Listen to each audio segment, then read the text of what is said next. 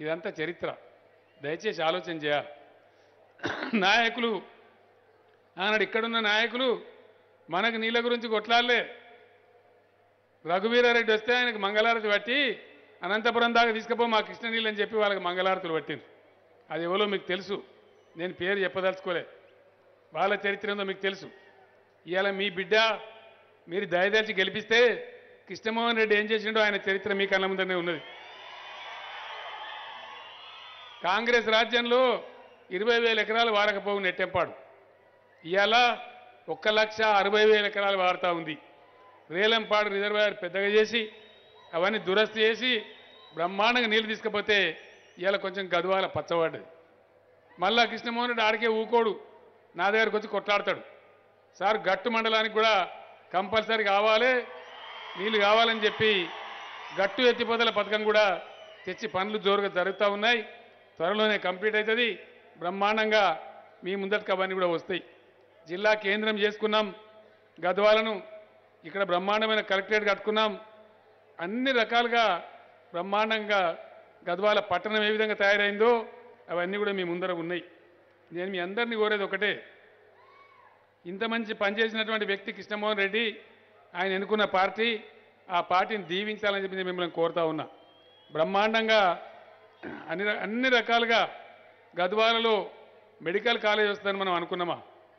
Nursing college వచ్చేది ఎక్కువ ఉండే. ముందే నర్సింగ్ కాలేజ్ తెచ్చింది కృష్ణమోహన్ రెడ్డి. ఆ తర్వాత మెడికల్ కాలేజ్ వచ్చింది. మూడు వందల పడకల ఆసుపత్రి కూడా నిర్మాణం జరుగుతూ ఉంది. మొత్తం పట్టణమంతా సెంట్రల్ లైటింగ్ ఏర్పాటు చేసుకున్నాం. ఇంటిగ్రేటెడ్ మార్కెట్ కట్టుకున్నాం. ఇండోర్ స్టేడియం కట్టుకున్నాం.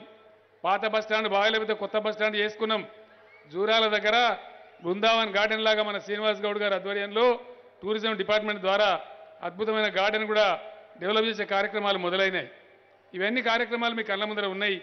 ఇవన్నీ కాకుండా ఇంకా చాలా పనులు జరిగినాయి. పేదల సంక్షేమం ఏ విధంగా చేసిందో బీఆర్ఎస్ ప్రభుత్వం మీకు తెలుసు. నలభై రూపాయలు డెబ్బై రూపాయలు రెండు వందల రూపాయల పెన్షన్ ఉండే. దాన్ని వేలల్లోకి తీసుకుపోయిందే బీఆర్ఎస్ పార్టీ కేసీఆర్ గవర్నమెంట్ అని నేను మనవి చేస్తా ఉన్నా. ఇవాళ దాన్ని ఐదు వేల పదహారు తీసుకుపోతామని ప్రకటించినాం. మొత్తం ప్రజలందరికీ కూడా రేషన్ కార్డు ఉన్న వాళ్ళకు సన్నబియ్యం ఇస్తామని కూడా మనం మనం ప్రకటన చేసినాం. ఈ మార్చి తర్వాత గవర్నమెంట్ మనదే వస్తుంది కాబట్టి కృష్ణమోహన్ రెడ్డి గెలుస్తాడు కాబట్టి అందరికి కూడా సన్నబియ్యమే వస్తాయని చెప్పి నేను మనవి చేస్తా ఉన్నా. ఈ రకంగా దారుణంగా వంచింది ఒక పార్టీ. వాల్మీకి బోయలది మనం నాలుగు మాటల అసెంబ్లీలో తీర్మానం చేసి పంపితే ఆడ ముడి కింద కూర్చుని పెట్టుకున్నది ఇంకో పార్టీ. మరి ఈ రెండు పార్టీలకు ఎందుకు వేయాలి ఓటు మనం?